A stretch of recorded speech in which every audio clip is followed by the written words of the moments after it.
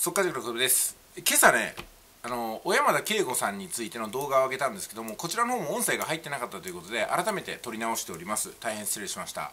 え小山田圭吾さんがあの今ね自分の抱えてる音楽グループまあなんかなんとかメタルっていうやつだったかなんだか忘れましたけどもそちらの方の活動もなんかね休止するそうなんですよ。でそれが感染拡大に備えてってことだったんですけども明らかに今回のバッシングを受けてたと思うんですよね。こういうふうに自分のやった過去までほじくり返されて他のねメンバーにもそれからステージを用意してくれた多くの方にも迷惑をかけてるわけなんですよ。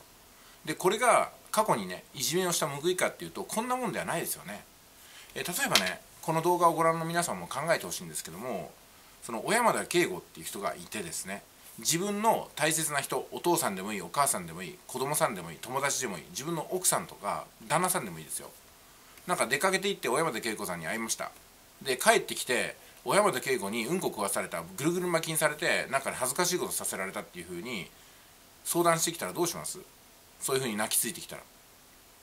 どどうですかね？これ10年経っても20年経っても30年経っても許せます？ねいや許せないんじゃないですかね。やってしまったことしかも特にやる必要のないことじゃないですかそんなことは。あの緊急避難って言ってあの船が遭難した時にねこの木の板があってどっちか1人が捕まらないとどっちか1人は死んでしまうみたいな緊急避難の時に自分が生き残るために仕方なくね誰かを蹴落としてしまうってことはこれは許されることではあると思うんですよ。これについてって言ってるわけじゃないんですよ。あの特定の人をね特に今回障害者っていう抵抗力がちょっとね乏しい方に対して自分の優位性を生かして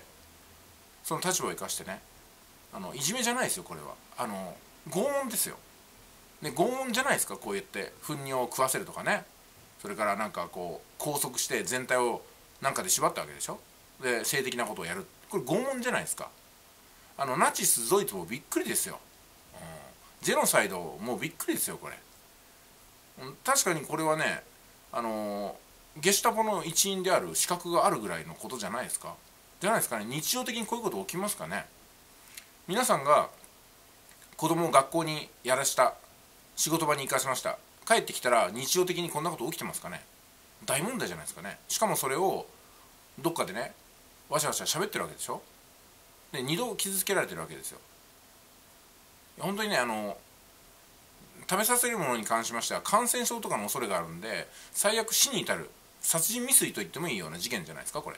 精神的にも肉体的にも。これは時間が経ったからといって昔のことだからって許されることなのかなと思いますし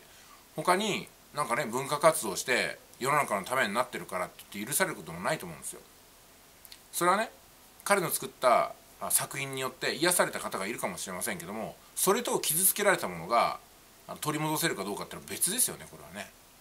でしかも機会があったら謝りたいって言ってますけども機会をずっと作らなかったのは誰なんですかってことなんですよ。んでこれはね私の無関係な私が小山田圭吾さんを追い詰める必要は全くないんですけども客観的に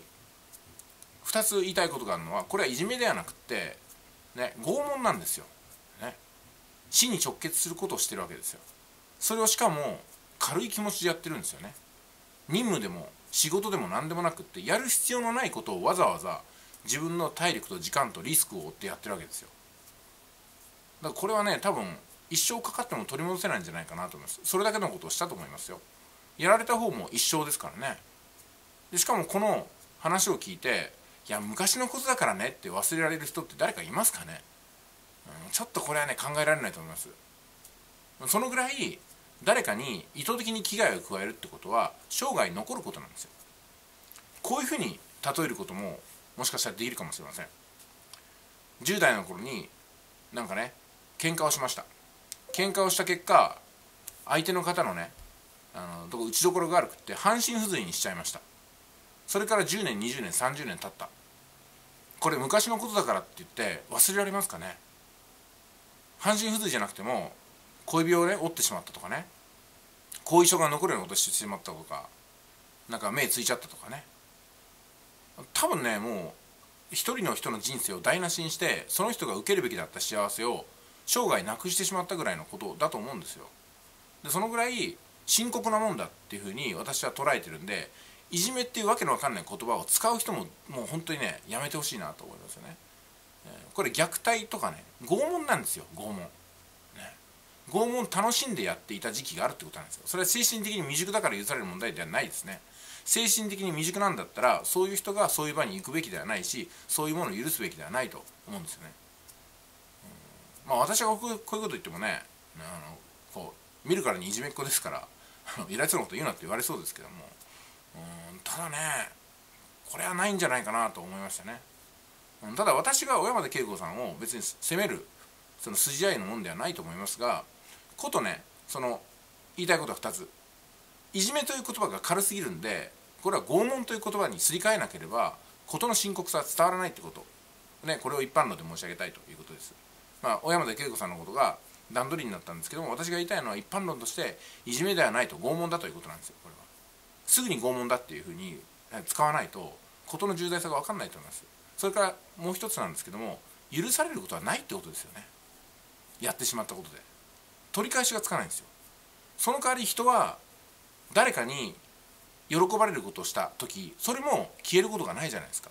一生感謝されるわけなんですよ。そしてそれは一生自分の誇りになるわけですよね。同じようにやっちゃいけないことをやったことも一生抱えていくぐらいの覚悟じゃないとことを起こすべきではないかなと思いますしね、本当にねこの辺はね私あのすごく不満の残るとこですよね。個人的に小山田圭吾さんに私は恨みも何もありませんけどもただ戦うべきはいじめという概念が間違っていると。それは拷問であるということ。それからもしねその拷問たるものをしてしまったらいくら心を入れ替えても許されることではなくて食材の日々が続くってことですよ。だから一生かけて思い悩んでいくぐらいのことをしないと釣り合いが取れないんじゃないかなと私は思っています。ということで、ね、朝の放送で申し上げたんですけどもね、えー、ちょっと言葉が過ぎたところもあるかもしれませんけども素直な私の今この瞬間の気持ちです、えー、全世界がね差別なく平等でそして許し合える世の中になってほしいなと思いますね。私たちはまだ未熟ですからいろんな間違いをしながらそしてかわい合っていくのかもしれないですね。はいじゃあ以上です。